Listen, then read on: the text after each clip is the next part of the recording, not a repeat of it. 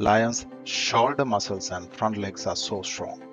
As you can see, he uses his strong shoulder muscles and powerful front legs to shoot his massive body up and get his front paws to grip the top. Then he uses the back legs to lightly push the body to climb up. This is an incredible scene.